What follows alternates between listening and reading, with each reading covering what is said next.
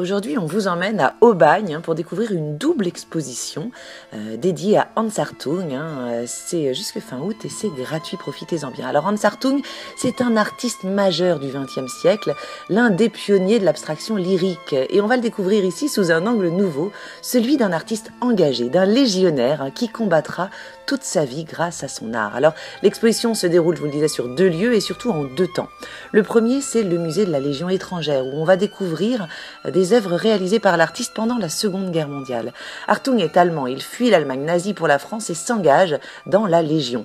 Et ici, c'est toute la désolation de la guerre que l'artiste exprime. Il a beau être sur le front, il ne lâche jamais ses crayons et ses pinceaux. En tout, on va pouvoir admirer 45 œuvres de petits formats réalisées sur papier avec les moyens du bord. Hein. Beaucoup sont inédites, elles n'avaient jamais été montrées avant.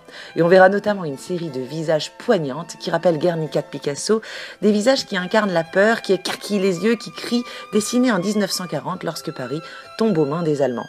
Et puis un drame survient au combat, on est en 1944 pendant la campagne de libération de l'Alsace. Hartung est blessé et doit être amputé de la jambe. Et là, eh bien, sa vie va basculer.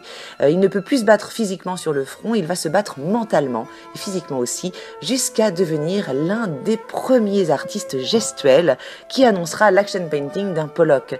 Et ça, c'est le deuxième temps de l'exposition au Centre d'art des pénitents noirs. C'est la libération de l'artiste, de son geste, de la couleur. C'est explosif, c'est immense, c'est frénétique.